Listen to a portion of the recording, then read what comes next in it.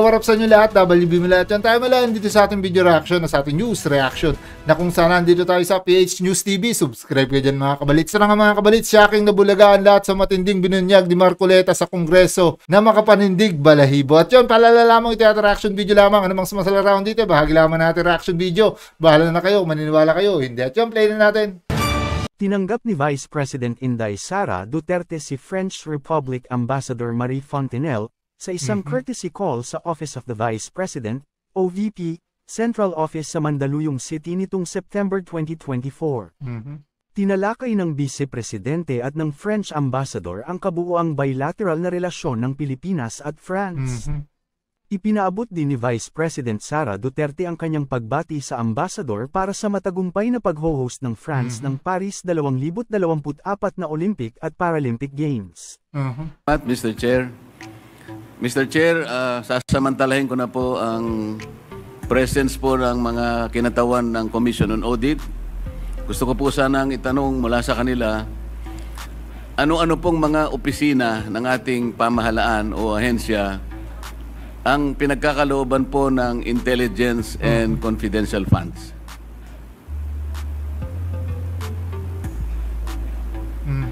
Attorney Camora, please respond. Um, there, uh, confidential funds are given to NGAs, to LGUs, and some GOCCs po. You can uh, elaborate, uh, Madam Representative, ano po, sino po sa mga LGUs ang binibigyan po ng intelligence and confidential funds? Um, sa LGUs po,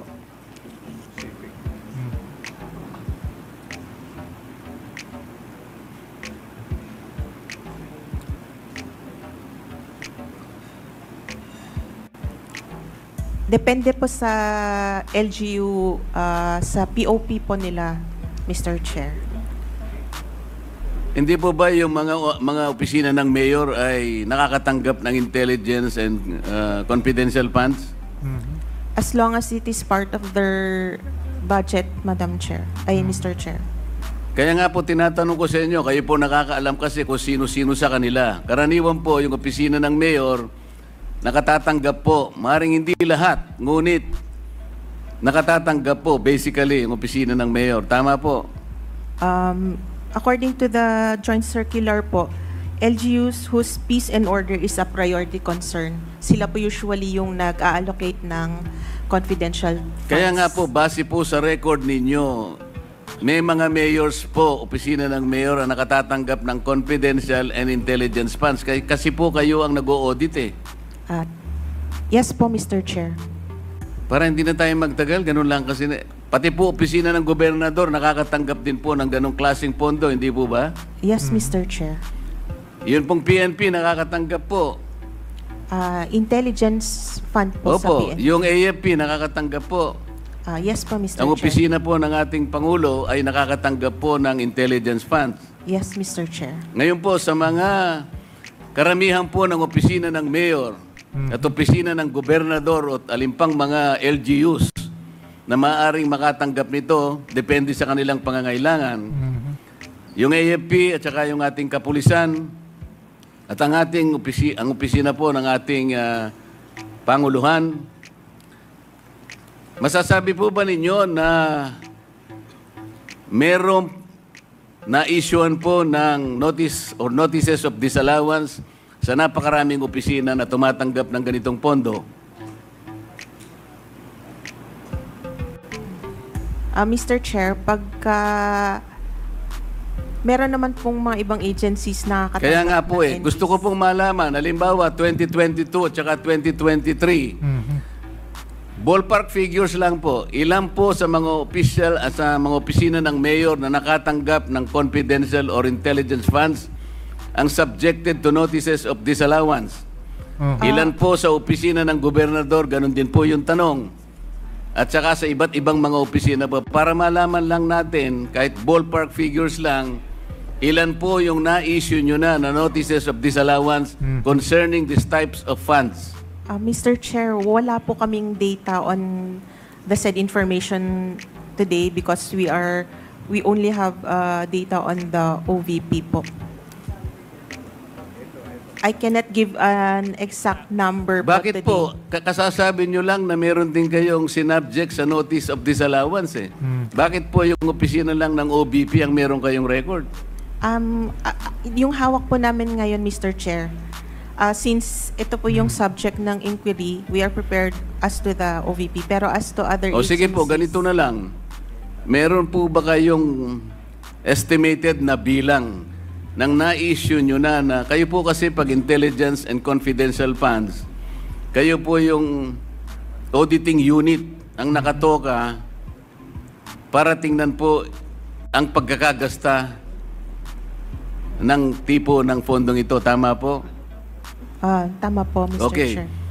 Makapagsasabi po ba kayo ng estimated number? Ito po, kinabibilangan ng opisina ng mayor, ng gobernador, ng ISAP, ng kung ano-ano. Ng, ah, siguro po, maski National Intelligence Security ah, Council, AFP, ang kapulisan. Can you provide us a ballpark number of the notices of disallowance that your office has initially issued? Um, Mr. Chair, I cannot um, give you a ballpark uh, figure now since hindi naman po ako involved sa entire uh, ICFAO. So, um, Wala po bang isa sa inyo na nakaupo ngayon sa aming harapan ang makapagbibigay man lang ng estimated number? Napakarami po ng mayor, napakarami po ng gobernador.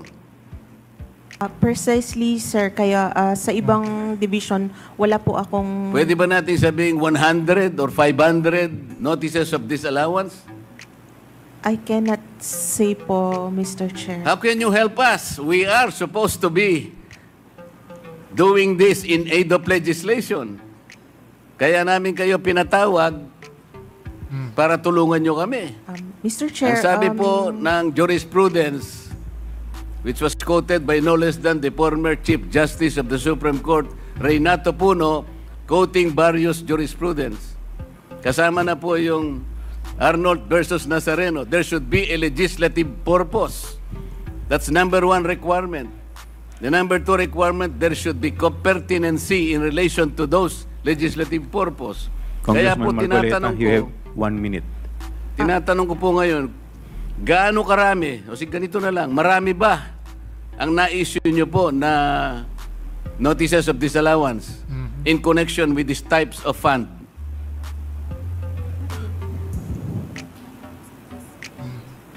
Um, sir, I really cannot give an exact number Hindi nga sabihin mo today. lang, marami. Attorney, Medyo marami. Attorney Camora, could you please submit the documents that the Honorable Marcoleta is requesting? Yes. Kasi sa uh, ngayon, bago ako As magtapos. Mr. Chair, I want Yes, to wind Mr. up now. Yes, I want to wind up now. Can you at least sabihin mo lang, marami, medyo marami. Pati ba naman yun, hindi mo... Ang dami po nating mayor dito sa buong Pilipinas, ang daming gobernador, pati kapulisan, eh, ISAP, AFP. So sabi mo kanina, marami na-cover ng... Magka, ilan ba? Madam Chair, kung yung current year, I can answer na O yung, ah, naka, yung konti lang on po. the average noon, yung halimbawa 2020, 2021, 2022, by way of your experience, by way of your uh, former data, Uh, previous um, years po, I cannot say since bago lang po ako sa ICPAO. So, we could just provide you po with the documents.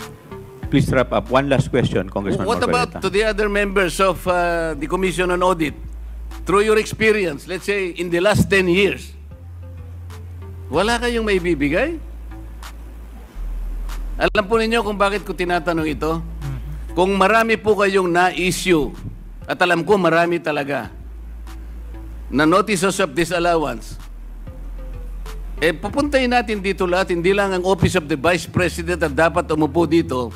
Lahat na po ng inisyuhan nyo ng notices of disallowance must sit here para makagawa po kami ng mas maganda, mas balanse na batas. Kung pag-uusapan po ay ang paggamit nitong intelligence funds. Do you, do you understand, Madam? Uh, yes, I understand po the question. so, However, uh, we, the, the committee is expecting to receive the number as well as the pertinent records pertaining to the issuance of notices of disallowance to the municipal mayors, governors, the uh, PNP, the AFP, and such other agencies who are recipients of intelligence and confidential funds because later on we will also summon them and sit with us. Thank Cong- you, Madam Chair, uh, Mr. Chair. Congressman Marcoleta, you cannot move because uh, you are not a member of this uh, committee. It's good that you have raised that, uh, Mr. Chair. I am a vice chair of this committee. On September 4, I was surprised because I saw the journal that I was replaced by my comare. The question is, if I am replaced as a vice chair, does that automatically mean that I am removed as a member of this committee? Before Um, you answer that, Mr. Chair, I think I need some legal basis before you answer that. Yes, um, your removal from from the vice chair, you were removed uh, in a plenary session, House Rules. Now, under Section uh, 28 uh, of the House Rules, it provides that the House shall, upon the recommendation of the Committee on Rules, organize committees, their membership, and jurisdiction. Therefore, your removal as vice chair and member of the House was a plenary action, and therefore, um, it should be the plenary uh, who should include you as member or uh, as vice chair. Thank Mis- you. Mr. Chair, it was very clear that I was removed as vice chair. I was not removed as a member. Because you were uh, you were There, there was When you- there is this distinction between being a member and vice chair. If I Yes, was but- removed as vice chair, But your, uh, you, but your appointment as vice chair, you were appointed, you were not appointed as member. Your appointment was as vice chair. So hindi naman po kayo Mr. inappoint Chair. muna as member bago kayo ginawang vice chair. Your immu- your immediate uh, appointment was as vice chairman and therefore your removal as vice chair um, will remove you as member also. Yun po yun. Well, and it's a that is plenary your- action. The committee has nothing to do with it. that, that is your opinion, Mr. Chair, but I, I, I, I am expecting that some kind of a basis should be presented that upon removal of a vice chair, that automatically also removes him as a member of that committee. That's all I am asking, Mr. Chair. Point of order, Mr. Chairman. the we have already answered the manifestation or uh, the inquiry of the Honorable Marcoleta. What is your parliament, parliamentary inquiry? Thank you, uh, Mr. Chair. The rules of the committee says that this committee only acquires jurisdiction on matters of nonfeasance, misfeasance, malfeasance.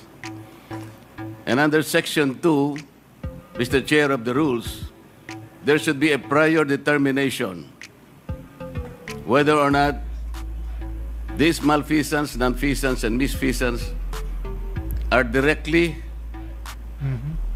or specifically relating to the persons charged of this.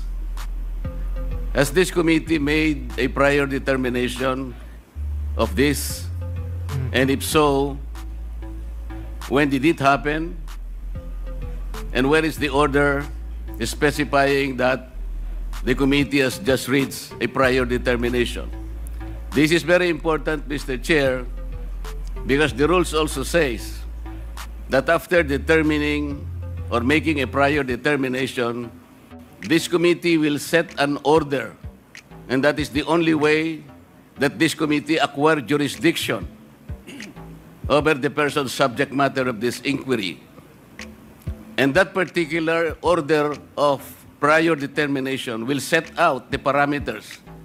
If I can make a comparison, Mr. Chair, in regular court, it is called pre-trial order, where the parameters of the inquiry, the presentation of evidence or explanations or allegations are limited to that set of stipulation.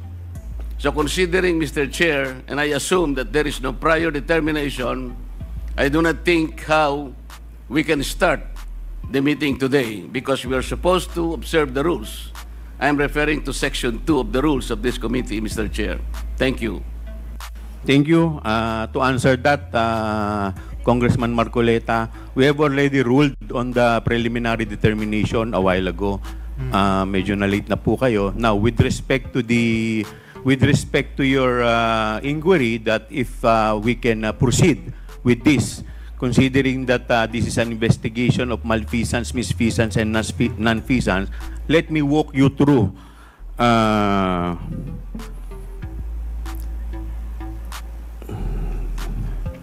let me walk you ito, through the definition of a good government and public accountability.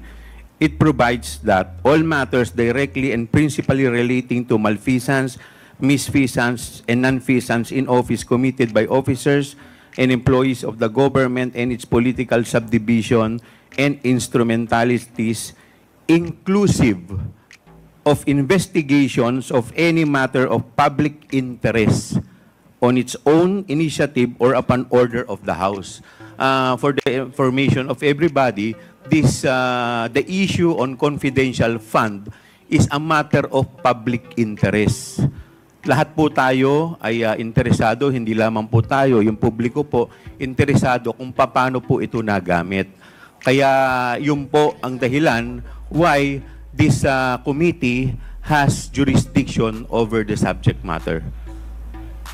But Mr. yes, Chair, Congressman uh, Marcoleta. Mr. Chair, under Section 5, there should be a record of preliminary determination. It says that the proceedings in the preliminary investigation or determination shall be recorded through stenographic notes. What you were mentioning are motu proprio cases.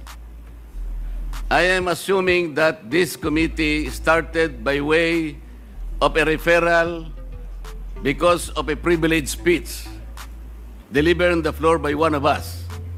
And so this is the main subject matter of this committee meeting, and to which we should first determine preliminarily whether or not this committee acquires jurisdiction. And I demand a record of preliminary determination under Section 5 because it says, upon termination thereof, Mr. Chair, the chairperson shall issue an order which shall recite in details the matters taken up. So what are the matters taken up, Mr. Chair? I think we should be able to comply with these elementary rules as specified in the governing rules. Well, considering that uh, we are still in the, we have yet to proceed to the interpellation, uh, we are still in the period of recognizing the resource person as well as the witness. Um, with that, uh, the chair declares one minute suspension. At yan nga mga kabalits natin, oh, yung mga ilang mga patungkol, mga pahayag at mga pagtugon dyan. At kayo, kayo lang bahala magkomento sa ibaba nang nais nyo i-komento patungkol dyan. At yun, muli, syempre, nagpapasalamat tayo sa patuloy nyo pagsubaybay at patuloy nyo pagsuporta at pagsusubscribe sa ating channel. At syempre, nagpapasalamat tayo dito sa PH News TV. Subscribe kayo dyan mga kabalits. At yun mga kabalits, tamo lang yung WB. Hanggang sa muli natin pagkikita, mga kabalits!